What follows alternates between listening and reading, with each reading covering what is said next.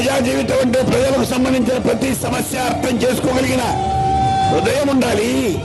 అది అమలు చేయడం ఎంత కష్టమైన వ్యయమైన ప్రయాసమైనా అది తీర్చగలిగిన శక్తి సత్తా ఉండాలి. అదే వారసత్వం. అదే నమ్మకం.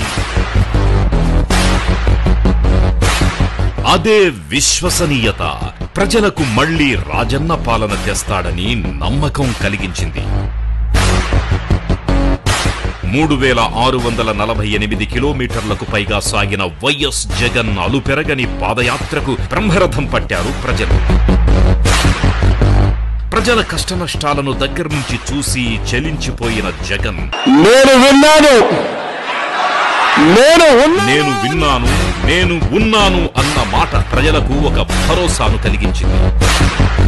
మేనిఫెస్టోను ఒక ఖురాన్గా భావిస్తాను. మేనిఫెస్టోను ఒక బైబిల్గా భావిస్తాను. మేనిఫెస్టోలోని ప్రతి అంశం భగవద్గీత మేనిఫెస్టోనే ఒక బైబిల్ ఒక ఖురాన్ అని నమ్మిన మన జగనన్న రెండు వేల పంతొమ్మిదిలో అధికారం చేపట్టే నాటికి రాష్ట్రం ఎంతటి దుర్భర పరిస్థితిలో ఉన్నా కూడా చెప్పిన హామీలే కాదు చెప్పనివి ఎన్నో అమలు చేసి చెప్పాడంటే చేస్తాడంతే అనే ధీమా ప్రజల్లో సంపాదించుకున్నాడు. ఆ వేట కాలంలో నాలుగు వేలు కాదు దాన్ని పదివేలు చెప్పి హామీ ఇస్తా ఉన్నాం మీ అందరికీ.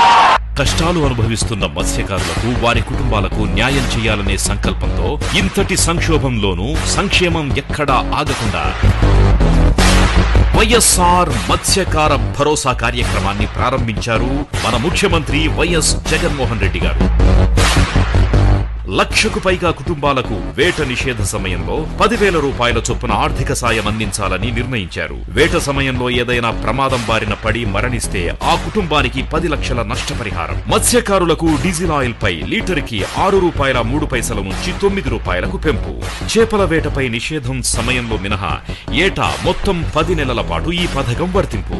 జిఎస్పిసి ఓఎన్జీసీ తవ్వకాల సమయంలో జీవనోపాధి కోల్పోయిన పద్నాలుగు వేల తొమ్మిది వందల ఇరవై ఏడు మంది మత్స్యకారులకు ఒక్కొక్క కుటుంబానికి నలభై ఏడు వేల రెండు వందల యాభై రూపాయల చొప్పున డెబ్బై పాయింట్ ఐదు మూడు కోట్ల నష్టపరిహారం చెల్లింపునకు నిర్ణయం. ఇటీవల కరోనా లాక్డౌన్ నేపథ్యంలో గుజరాత్లో చేపలు పట్టడానికి వెళ్ళి చిక్కుకుపోయిన దాదాపు నాలుగు వేల మూడు వందల మందిని ప్రత్యేక రవాణా ద్వారా వారి వారి గ్రామాలకు చేర్చిన ప్రభుత్వం క్వారంటైన్ తర్వాత ఒక్కొక్కరికి రెండు వేల రూపాయల ఆర్థిక సాయం అందించాలని నిర్ణయం. మరో విషయం పొరపాటున పాకిస్తాన్ తీరజలాల్లో ప్రవేశించి రెండు వేల పద్దెనిమిది నవంబర్లో విజయనగరం శ్రీకాకుళం తూర్పుగోదావరి జిల్లాలకు చెందిన పదిహేను మంది మత్స్యకారులను స్వదేశానికి తీసుకురావడం ఎంతో గొప్ప విషయం.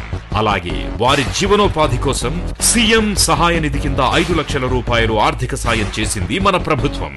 ఇక ఆక్వా రైతుల శ్రేయస్సుకై కరెంటు సబ్సిడీ. ఒక్కటేమిటి? అధికారంలోకి వచ్చిన నాటి నుంచి అన్ని వర్గాల ప్రజలను సంతోషంగా ఉండగలిగేలా చేసిన ఒకే ఒక్క నాయకుడు వైఎస్ జగన్మోహన్ రెడ్డి. ఇంతటి సేవ చేస్తున్నావు కాబట్టి ప్రతి అవ్వతాతకు మంచి మనవడివయ్యావు. అక్క చెల్లెమ్మలకి ఒక తోబుట్టువువయ్యావు. వారి పిల్లల భవిష్యత్తు గురించి ఆలోచించే ఒక మేనమామవయ్యావు. యువతకు అన్నవయ్యావు. భవితకు మార్గమయ్యావు. మొత్తంగా రాష్ట్రానికే ఇంటి పెద్దవయ్యావు.